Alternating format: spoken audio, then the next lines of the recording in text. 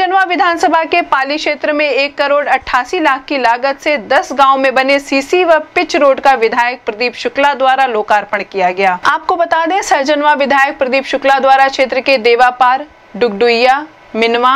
डोहरिया कला, कोदरी, सिसई, रिठुआ खोर, धुरियापार, बेलौरा बरई पार में एक लाख की लागत से बने सीसी रोड एवं बलुआ में इकतीस लाख की लागत से बने पिच मार्ग का लोकार्पण किया गया। इस अवसर पर ब्लॉक प्रमुख शशि प्रताप सिंह, सदर सांसद प्रतिनिधि रमेश मिश्रा, विकास पांडे, शिवचरण प्रसाद, बीईओ रजनीश द्विवेदी, प्रधान संघ अध्यक्ष विश्वजीत सिंह, अजीत शुक्ला, ई रमेंद्रनाथ मिश्र, राम सिंह, दिनेश जायसवाल,